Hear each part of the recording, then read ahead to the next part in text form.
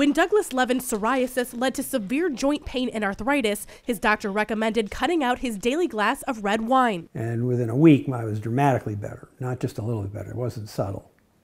And it's never been that way since. Because symptoms of psoriasis often appear as red, scaly patches on the skin, many are surprised to learn that not only can it be connected to serious conditions like arthritis, but that the cause and potential solutions are much more than skin deep. This is an autoimmune disease, so we're looking for some sort of source for a trigger to set off the, the immune system in the first place. The first source researchers looked at the mouth, where millions of microbiome provide insight to overall health. Dr. Benjamin Kaffenberger led a study at The Ohio State University Wexner Medical Center that asked patients about oral hygiene and found a correlation between poor gum health and more severe psoriasis. We know that patients that have poor gum health periodontitis uh, have a higher prevalence of, of uh, pathogenic bacteria in the first place. In addition to brushing and flossing every day, the study also found that simple lifestyle changes can help, such as maintaining a healthy weight, avoiding alcohol and smoking, and getting plenty of fruit in your diet. We do have patients that have seen significant improvements in their psoriasis, dramatic improvements even.